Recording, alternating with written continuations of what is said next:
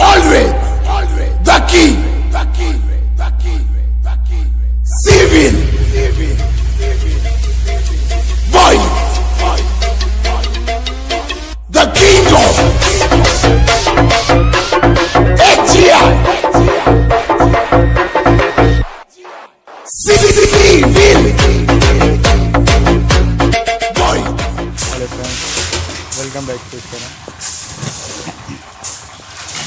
Civil engine of state दोस्तों, आज जो हम बात करने वाले हैं, वो बात करने वाले हैं प्लिंथ बीम प्लिंथ बीम कैसे कास्ट करते हैं इसमें कौन सा वाइब्रेटर यूज़ करते हैं सरिया कौन सी होती है केमिकल यूज़ करते हैं या नहीं, ठीक है?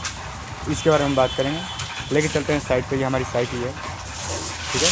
दिल्ली के हैदरपुर में है बाईपास के पास। तो आपको विज़िट कराते हैं साइट का ओके फ्रेंड्स फ्रेंड्स तो ये हमारी साइट है।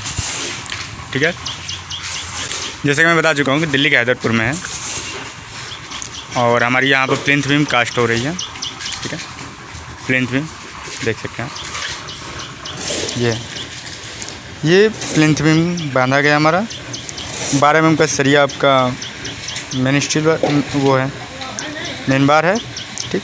और जो स्टीरअप प्रोवाइड किए हैं वो आठ एम का स्टील बार है, ठीक? इसके बीच की spacing centre to centre spacing इसकी पाँच इंची रखी गई है। ठीक है, फ्रेंड? और ये जो हमारा है, ये हमारा जो प्लॉट है, वो गुनिया में नहीं है। ठीक है? और लेके चलते हैं आपको। कास्टिंग की तरफ़ बताते हैं कि इसमें कौन से वाइब्रेटर यूज़ करते हैं। ठीक है? ये देखिए, ये हमारी कॉर्नर, ये सारी हमारी कास्ट हो चुकी है। ठीक है? अब इधर ये कास्ट कर रहे हैं। कास्ट हुआ ये आपका हैंड वाइब्रेटर है, ठीक है? हैंड वाइब्रेटर ये 40 एम का होता है 40 एम डाया का।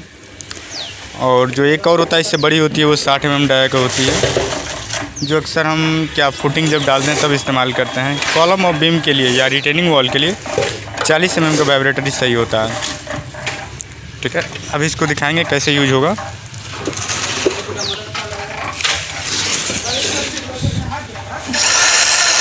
ऐसे होता है।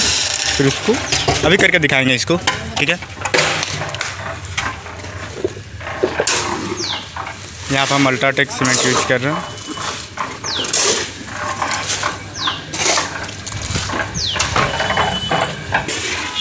फ्रेंड्स, इसमें हम एक केमिकल इस्तेमाल कर रहे हैं, जिसका नाम डॉक्टर फिक्सिट है एल डब्ल्यू प्लस ठीक है? ये आपका वाटर प्रूफिंग में काम आता है। और जब भी हम छत डालते हैं या फुटिंग डालते हैं ठीक है, यानी कोई भी कास्टिंग वर्क करते हैं तो हमें doctor Fixit L W plus इस्तेमाल करना चाहिए। इससे ये होता है कि सिलन लोन आने की संभावना नहीं रहती है मतलब कि वाटर प्रूफिंग है ये एक तरफ़ से। ठीक वाटर प्रूफ केमिकल है।